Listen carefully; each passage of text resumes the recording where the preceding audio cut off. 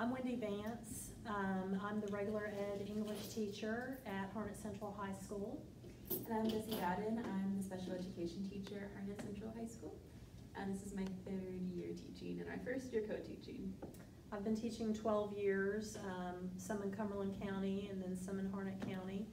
Um, would like to talk to you guys about co-teaching and what works and what doesn't work. And we have a short video for you guys uh, to see a demonstration um, of an activity we did with our children.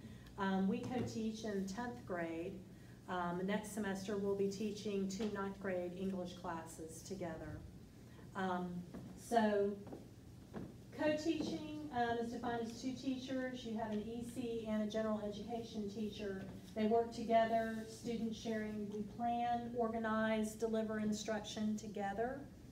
Um, both teachers are actively involved, so we will sit down together and work out a lesson and decide, you know, what do we think is going to work with this group of kids? Um, where are they going to have any trouble at and try to hit those spots before we deliver the lesson. And at the forefront of all of our co-teaching decisions is the idea that in a co-teaching classroom, it's indiscernible who's the regular education teacher and who's the special education teacher. And I think that definition helped us a lot when it came to like, okay, how are we gonna do this? How are we gonna introduce ourselves to our kids? And um, to this day, unless one of my EC kids has worked with me personally, I don't think any of our students can really tell No. who does what. And They can't because they'll turn in things to her, they'll turn them into me, she'll grade, I'll grade. Um, and we talked about this when we first started and were assigned to each other. And our principal at the time, Cindy Gordon, uh, was the one that put us together. And so we give her a lot of credit for, you know, being able to match up personalities. Um, and we said, how do we go into this and try to figure out to keep the kids from figuring, you know, oh, she's the regular teacher, she's our special education teacher. You know, we didn't want them to come to just me for everything. We wanted them to come to her equally. So what I decided was is because most of them knew, you know, Miss Bowden from pull-out or curriculum assistance, and they knew that I had always did, you know, regular ed. I said, I want you to take the lead. So when we first started the school year, um, she was the first to introduce herself and talk to the class. And I kind of stepped back and took a little bit of a back seat. And then we just kind of like worked off of each other and just kind of chimed in back and forth. And that really helped to establish um, that she had just as much power in the classroom as I did. So we thought that was a very important thing is how can we overcome you know, this situation here. Um, is there anything you want to add to that? Oh yeah, I mean, we're probably gonna develop this more as our presentation goes on, but co-teaching is so much about like cooperation. So not only are we having to convince our students that we, you know, there isn't a reg ed versus special ed teacher, we're also having to merge our own teaching styles. This lady knows everything there is to know about English, and she's as sharp as a tack. I'm the touchy-feely teacher that's like, oh, it's okay, take a break. Uh, Do you want a hug? Let's talk about it. um, and so those are two very different styles, and having to make sure that every decision we make is for the benefit of our kids, both emotionally and intellectually, has been a challenge, but I also think it's made our teaching way more effective. And I mean, there's a big age difference too. So she's in her 20s. I'll be 50 this year. So, you know, um, so we come from, you know, different generations. And, but at no time did we think, you know, that that was going to be cumbersome to us. Um, we tended to mesh together really good.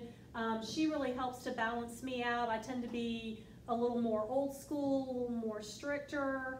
Um, and she's kind of, you know, a little more laid back. So she's really taught me a lot how to just kind of relax a little bit and kind of take a step back and You've taught me too, because she will, I am really organized, but I'm also have a lazy streak that I can't get rid of, and so she'll be like, did you grade those papers, or is it okay, are you gonna get this done, texting me on Sunday, like, is this done? And I need that. Um, and so really, like, it's the ideal classroom setting because we have that laid back, stern, Right. like, marriage. And, you know, there's a lot of times that I'll say, oh, I've got all this grading to do, I have to get all of this done, and she'll say, well, give me some of that, and I'm like, oh, yeah, that's right. Here, take it, you know? Can I move ahead to the next one? Yeah. All right, so we talked a little bit about this, um, co-teaching strategies to use, um, assessing student learning. That's, she's such a big help because a lot of the students, you can read an IEP, but there's nothing, you know, that you like better than to have someone tell you personally that's worked with that student. Um, and they can relay, you know, problems or situations that they may have had in the past, ways they overcame them, and ways that maybe they haven't been able to overcome them. And, you know, was it something that, you know, had to do with like the teacher or, you know, was that something that the student is just constantly struggling with? So it's been very beneficial to have that where we can say, okay, how can we modify, you know, this work that we're going to give? Um, you know, is it modified grading or do we need to reword the questions? Do we need to translate it into Spanish? Um, you know, whatever the case may be. And that's a lot of that communication element in co-teaching. It's definitely more work on the front side of things. Um, it's hard, I mean, we're not perfect. There have been days where we're like, what are we gonna do today? But for the most part, we're having to really communicate what do we wanna teach? How are we gonna teach it? Um, because there's no real wing in it when it's two people trying to hmm. form a cohesive unit. Now, you can't come in and say, you know, I didn't do my lesson plan today. What do you, what would you like to do today? We have to be really prepared, you know, and we have to look and sit down.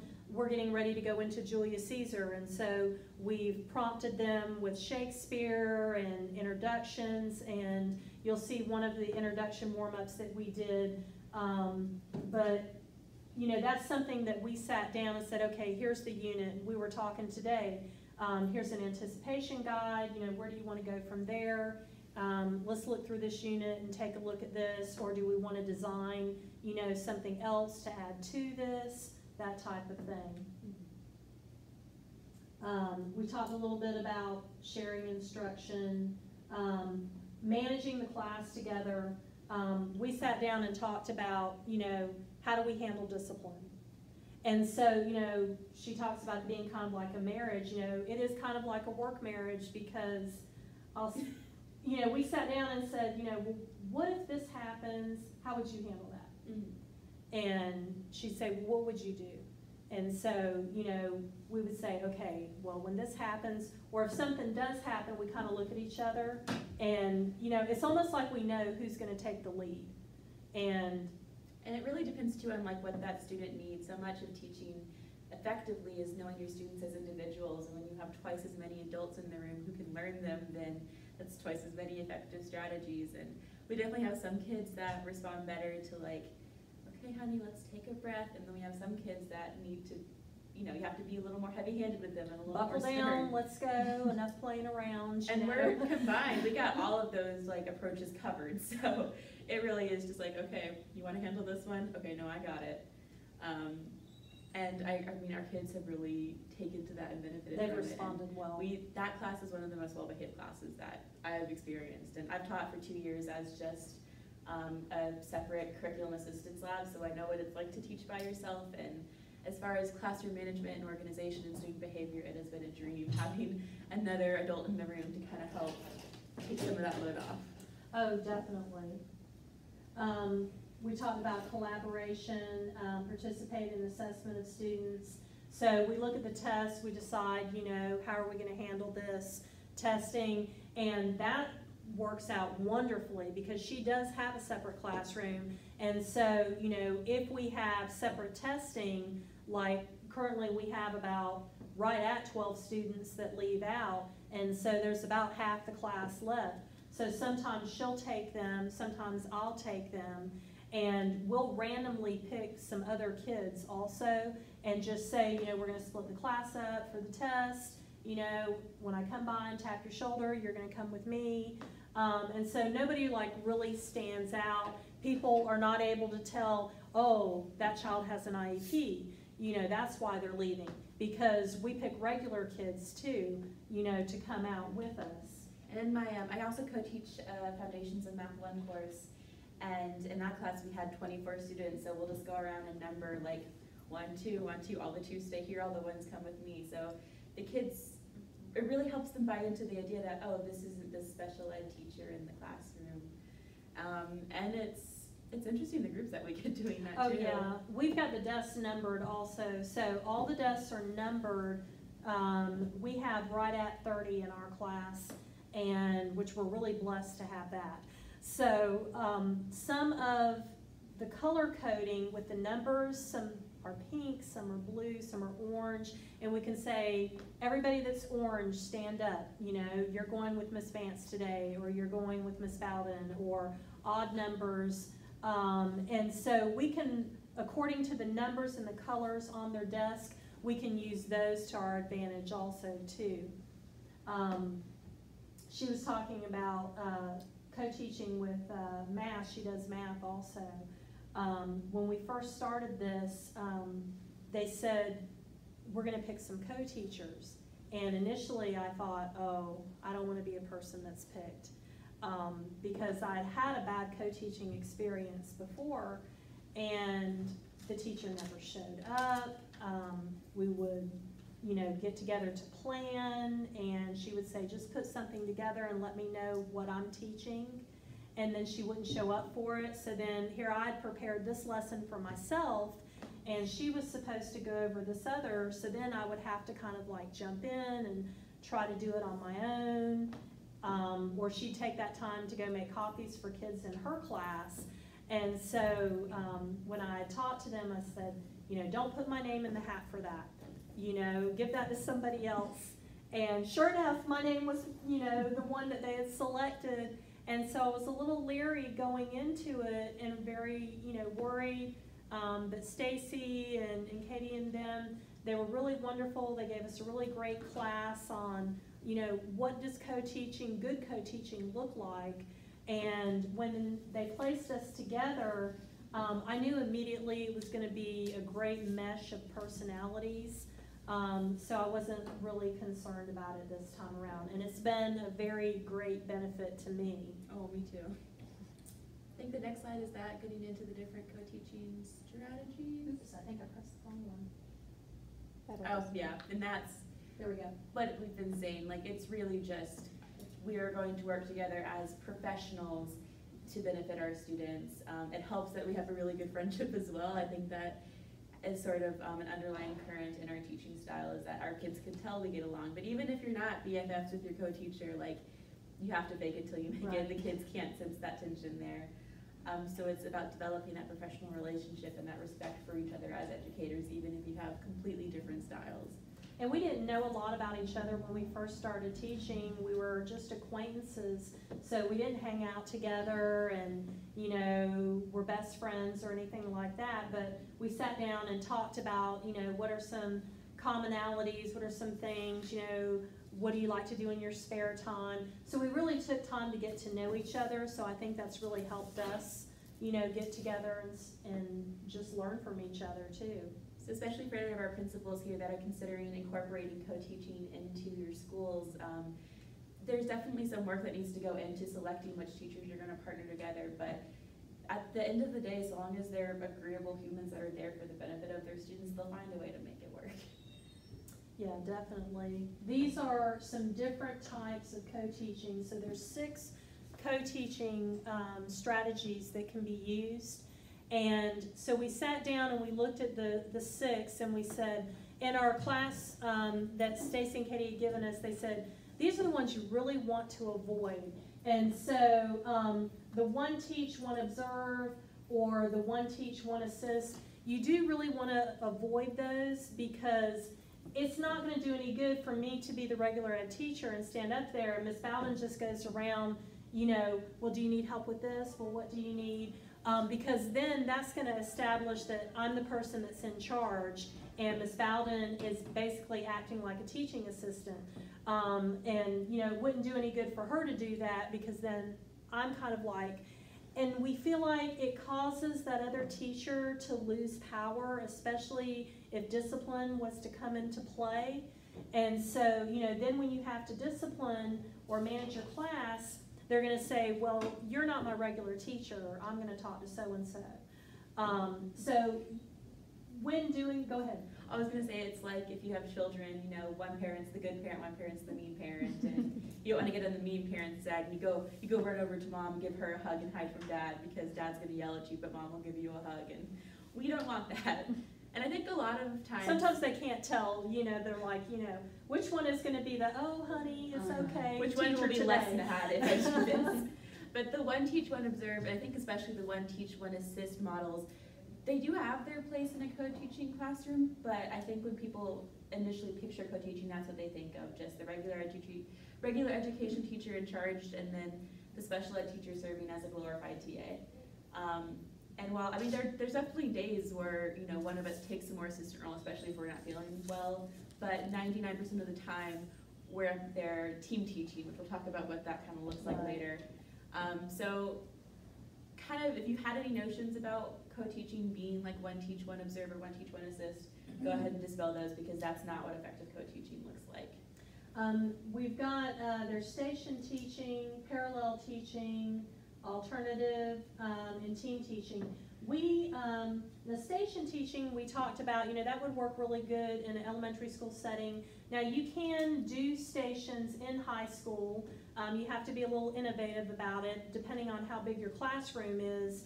Um, you can set up things on the wall and label it station one, um, and then put the kids in a group, and then they move as a group together into those stations. So each teacher can monitor, you know, one side or one group, or we can rotate with that.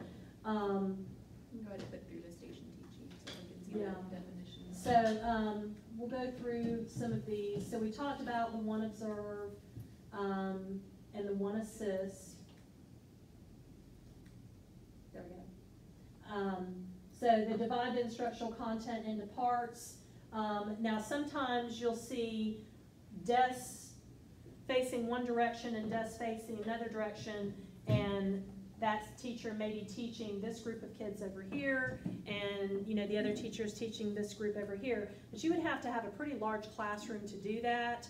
Um, or if you have like a back table and you're only doing like four or five students, you could do something like that. We've done kind of similar things with that, pulling, um, especially some of our kids that have difficulty with fluency and with um, written expression. I've sat with them in the back before and kind of helped them catch up while Miss Vance continues on, but that's not necessarily what station teaching is. It lends itself really, really well to an elementary setting where kids are kind of used to learning the stations anyway. And so having an instructor that can be at that station with them is really beneficial for our little ones. Right. Um, alternative teaching, so two different approaches to teaching the same information, learning, um, the outcome is the same for all students, however, the avenue for getting there is different. Um, I do this a lot in my Yeah. math class. Um, because math, like, it, so many different strategies for learning the same content. And it's especially important for kids to be able to access the strategy that's gonna work best for them. So there'll be times in our math class where my co-teacher, Mr. Bench, will stand up and deliver sort of like your typical math instruction, not that it's anything wrong with it, but just using the numbers and the symbols and the equations. Um, and then I'll go and reteach the same thing, but I'm maybe using like manipulatives or symbols rather than um, that more abstract representation of numbers. And so that's been really beneficial for some of our kids, because some of our kids, they don't want to play with blocks, it makes them feel like, you know, kindergartners.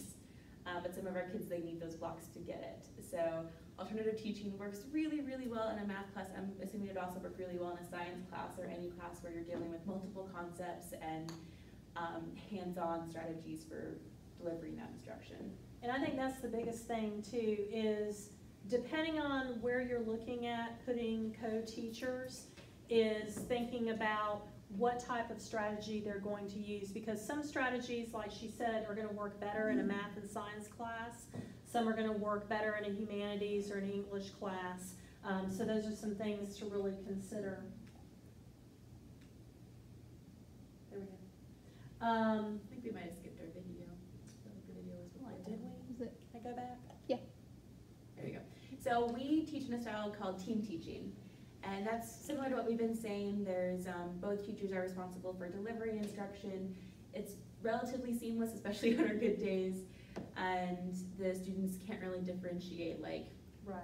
okay, whose turn is it now? Okay, like, okay, we're learning the warm up with Miss Bowden. No, we're both up there at the same time delivering Right. instruction. Kind of like, you know, talking to you today, we kind of bounce off of each other, we kind of go back and forth. Um, there's days we sound like we're a comedy team, um, you know, it just depends. Um, this video right here, um, is part of Shakespeare introduction to the students. And so we thought about what's something fun that we can do. We really want to get them energized. And that's the whole thing is when you first say Shakespeare, a lot of children go, oh no, you know. Not just the EC kids, like the regular ed kids Right. too. Like You know, and just- sometimes teachers do. So, it's a general groan in the classroom. Right. and it's because they don't understand it and, and it's not delivered in a way that they would understand. So, you know, as a teacher, you have to bring that energy, you know, and that's what we did is we said, well, this is a fun activity. So this activity is called Shakespearean Insults. Um, and so what we did is we took Shakespeare insults and they had to create their own.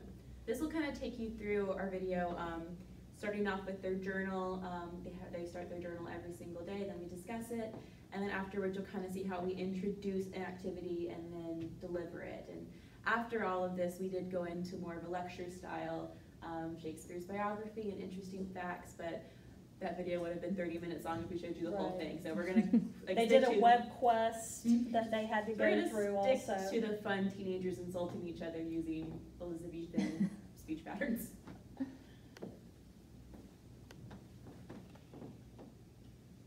A lot of people don't find it. Caitlin.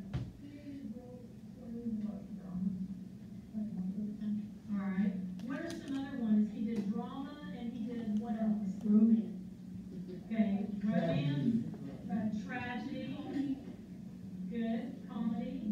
So when we're talking about plays, especially Shakespearean plays, um, they're classified in two categories. They're either tragedy or comedy.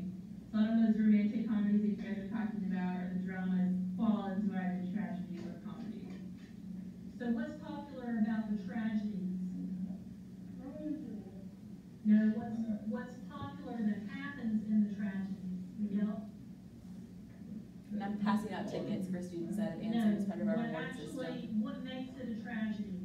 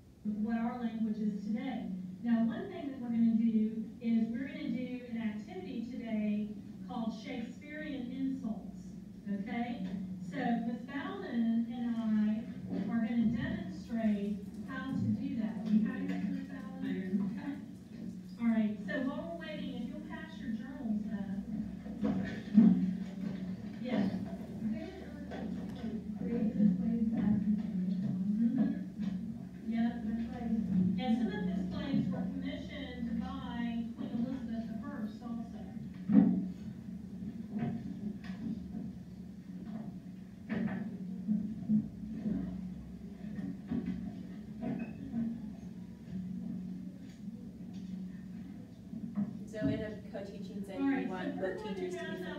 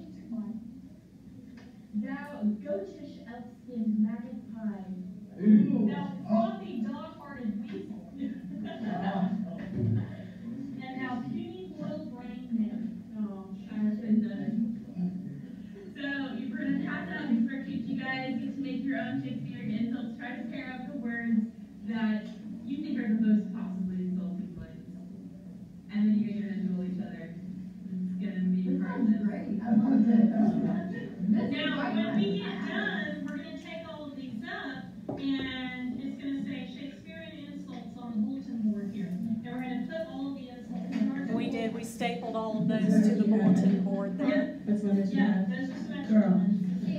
Now, wart, neck, money, nothing, toad.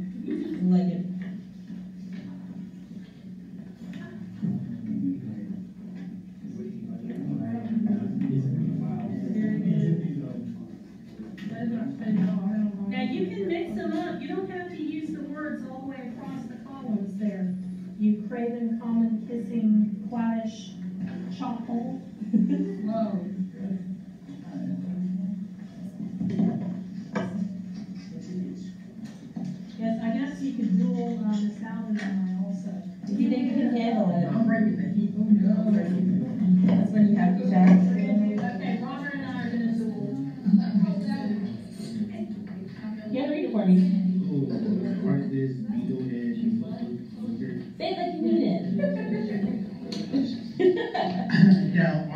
Beetlehead.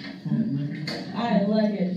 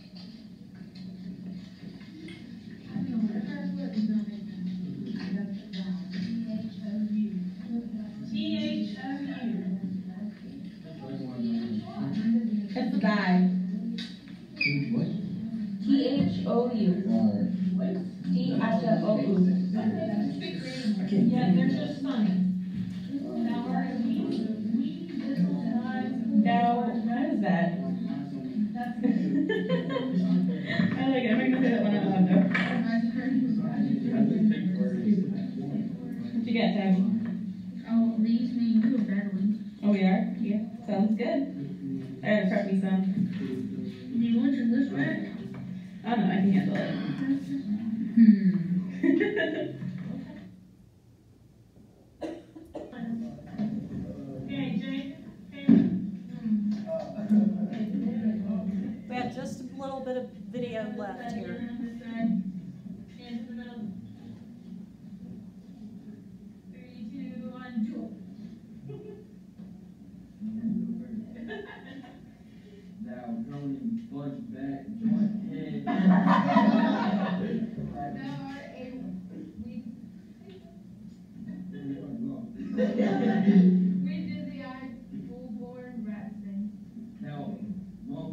people watch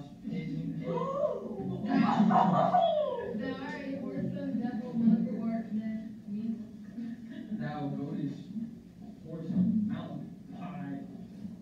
High.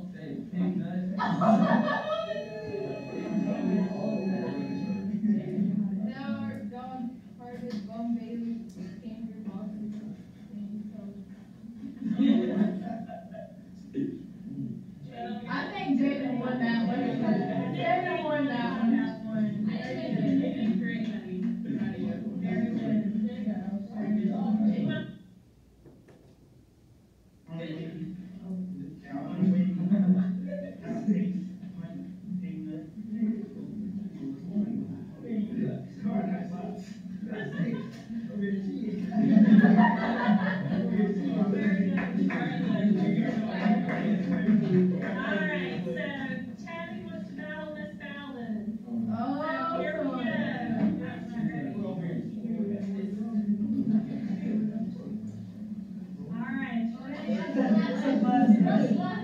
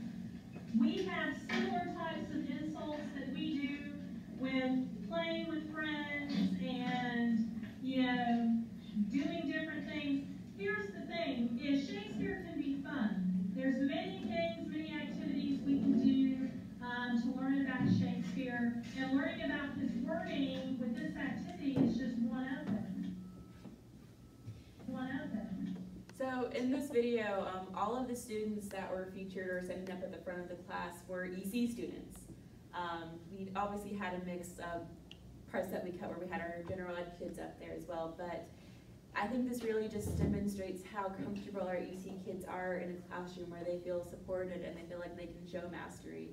Um, I've taught some of those kids before in different settings. Some of them have come up and talked to me before, like, I'm petrified of this other English class I'm in. But in our class, because they feel supported, they're confident enough to stand up in front of their peers and read off Shakespearean insults and which is like super big for a teenager whose ego is so small and fragile and precious that we were super proud of all of them. We have really seen a lot of them really expand and just come out of their shell. Um, and I think we work really hard to make it a safe environment. Um, we, one thing that we established at the very beginning is there's a lot of things that are going to get you in trouble, but one thing in particular is making fun of somebody.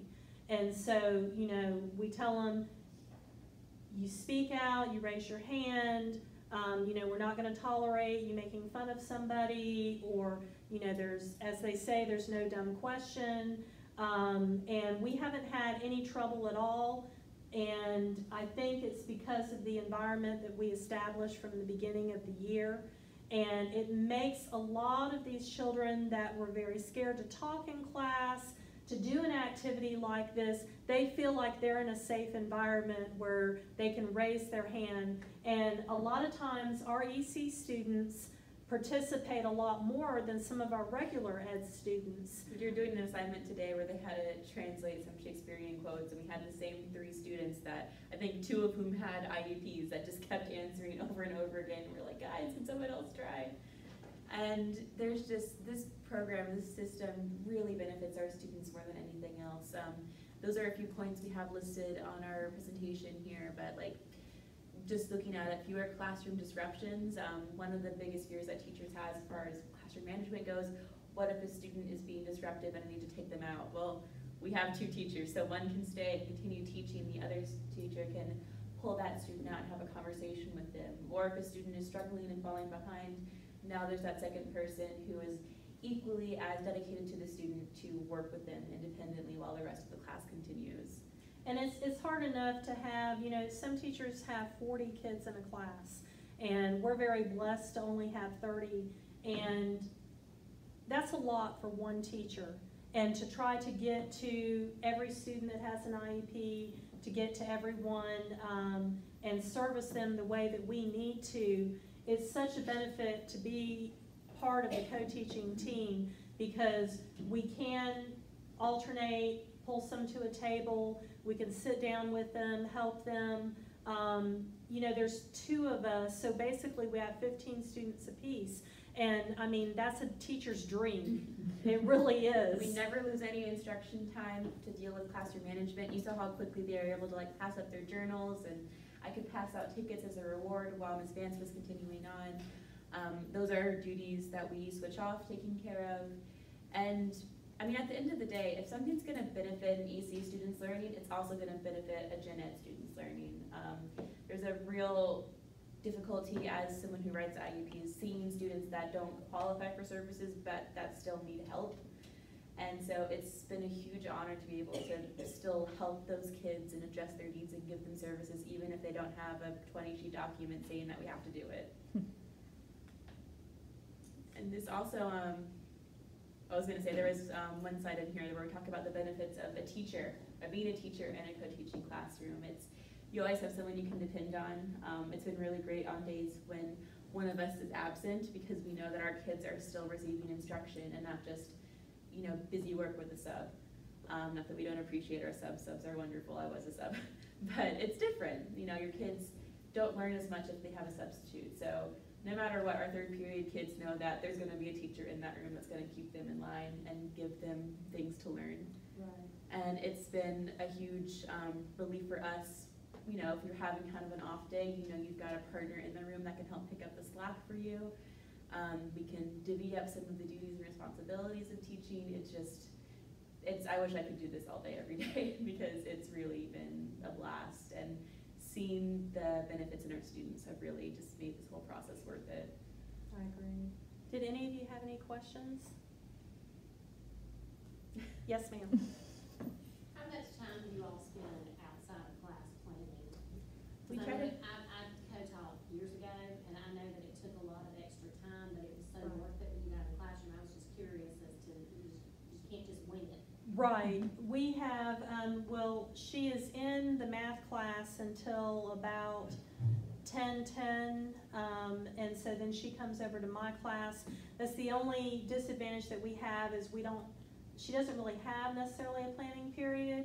Um, so she's kind of leaving out of the other class a little bit to come and have planning with me during second, uh, period. And so we sit down together and look at the agenda for that week, um, or however many weeks that we're gonna plan together. Um, sometimes after school, we'll spend some time together, um, but we do a lot outside of school too. We email each other, or we talk on the phone together and say, hey, you know, I know we talked about doing this, but what do you think if we add this to it? And so there's times on the weekend where we call each other and, you know, say, you know, I was thinking about this and how about adding this on to it. So we do some of our own time also, not just during school. Anybody else have any questions? Be brave, is what I tell my students to do. Well, thank you so much for taking your time to come listen to us. Um, this is a really, really fantastic model, not only for our EC kids, but for our gen ed students who may be struggling and don't have an IEP. Um, and I think every child could benefit from having teachers, extra teachers in the classroom. Definitely, and we feel privileged to be a part of this, and, you know, we just want to thank everybody for the opportunity, you know, to have this in our school and be able to do something like this. Because ultimately, it's about the children, and so that's what we're here for, um, or we wouldn't be here. Okay.